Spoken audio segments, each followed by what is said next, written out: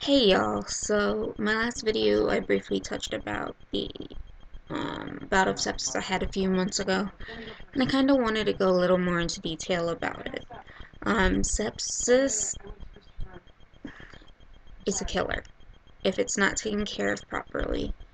Um, a lot of people end up in the ICU due to septic shock, and quite honestly, it's been one of the scariest things that I have been through. Um, I had a, I don't know if you can see this, I had a Hickman in my chest, and a hole formed in an area where they couldn't repair it, so I had to have it changed out. When I had it changed out, I had some unexpected complications, and those complications required another Hickman be placed and that one removed within 24 hours of the original one of the other one being placed. So um, then everything was fine, and I went home. Um, started noticing noticing some swelling in my incision site up here. Now, what they do when they do a Hickman is there's an insertion site, and then this incision here is where the line is pulled up and then put into the vein, um, or artery, I should say. Um, but the incision site up here was starting to swell. I was in a lot of pain, um, and I had started running a low grade fever. And my mom wanted to take me to the emergency room. I kept begging and begging her to wait until the next morning, you know, just let me sleep one night in my bed. You know, I didn't want to go, um, but she wouldn't let it down. And it's a good thing that she didn't. Um, I had become septic with a bout of MRSA, and it was one of the worst strains of MRSA that you can get. And they had told me if I had in fact waited till the morning to um, come in, that I would um, have more than likely been in the ICU. Trying to find a picture of what happened. Let's see.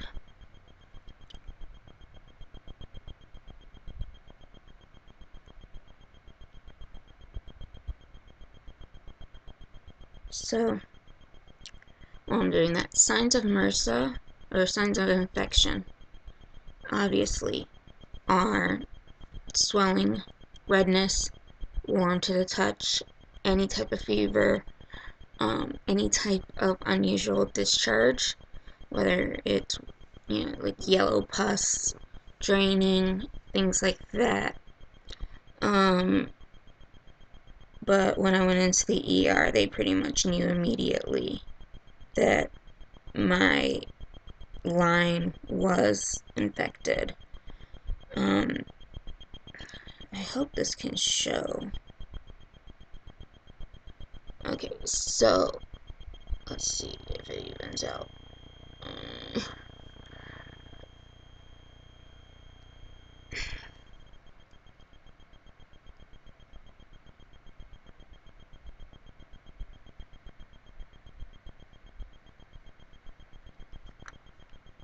so I'm trying to find a way for the screen. Maybe if I dim the screen a little bit.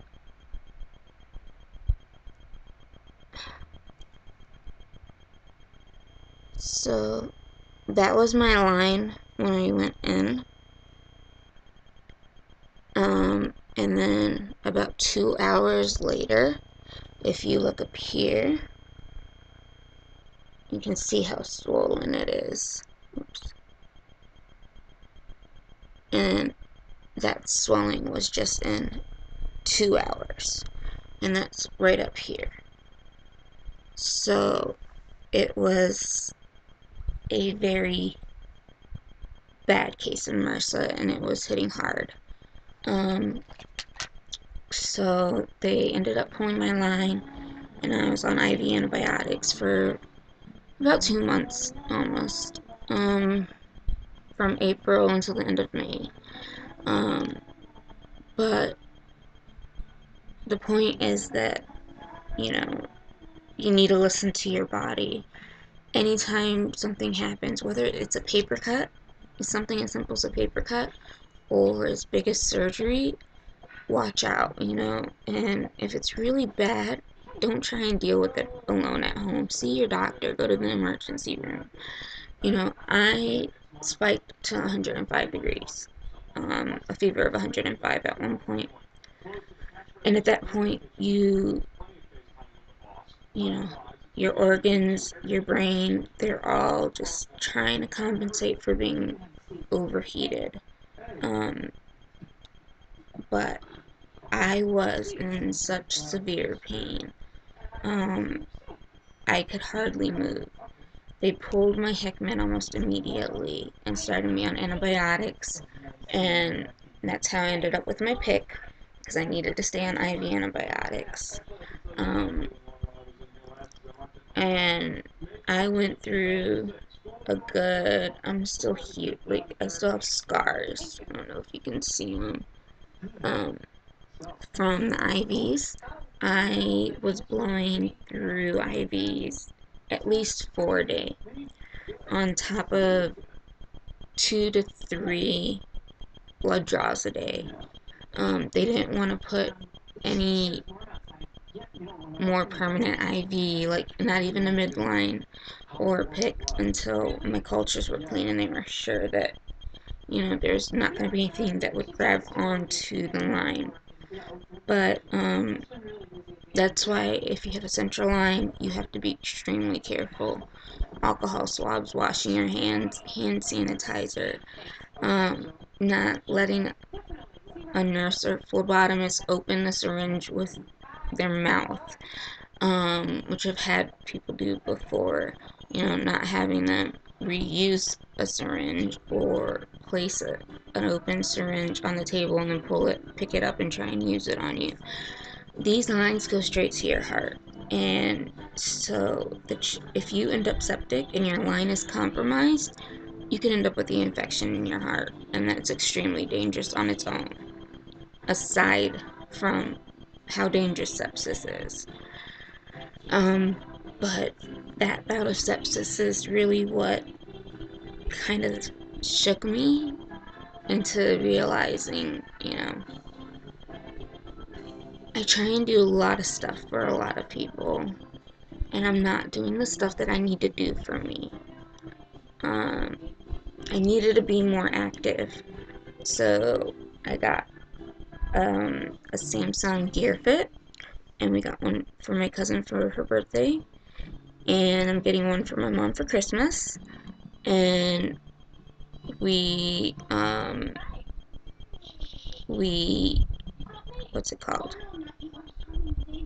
We uh, sorry, we um, compete, so it makes me get up and move and do more, so I'm not stuck in bed all day.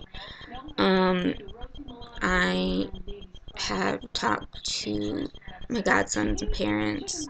I have talked to local spoonies in the area, local friends in the area about not saying no anymore. Um, and I feel like if I can take care of myself, I can take care of others better. So, you know, while the sepsis sucked, I was miserable. I wanted to go home. I literally spent like three weeks in the hospital because of the sepsis. Um, it woke me up.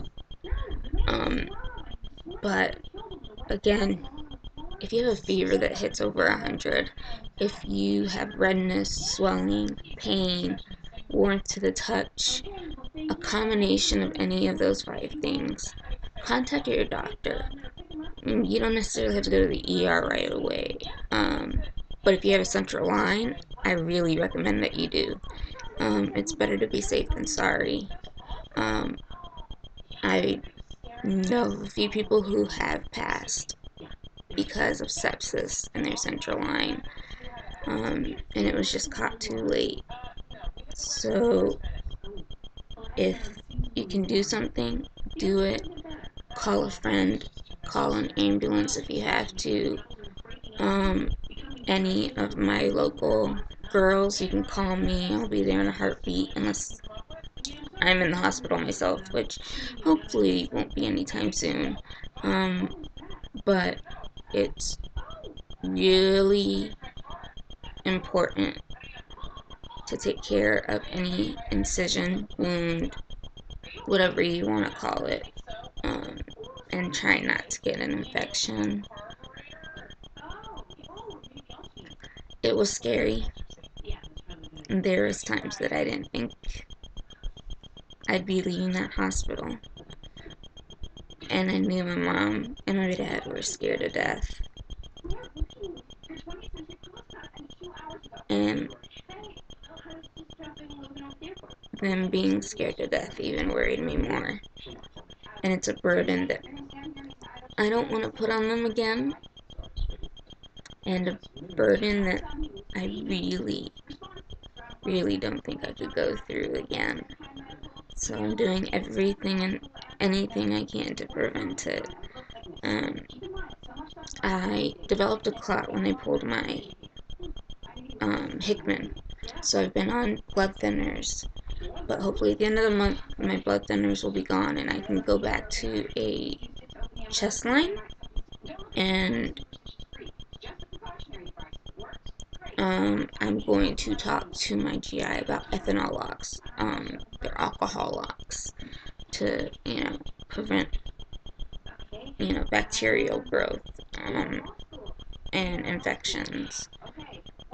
So, you know, like I said, monitor yourself. You know your body. I knew something was wrong. I just didn't want to go in. Don't delay. Um, because once you get to a certain point, you roll downhill even faster. Faster than you could even imagine. Um, when I went into the ER, there was barely any, like, there was some noticeable swelling. And not even two hours later, the picture that I showed is what my incision site looked like. So, you know, do anything and everything you can to prevent it. But sometimes it's just not preventable. So just do what you can to take care of yourself and make sure it gets taken care of. Um, stay safe, stay healthy, and if there's anything that you guys want me to cover, any questions, please feel free to contact me.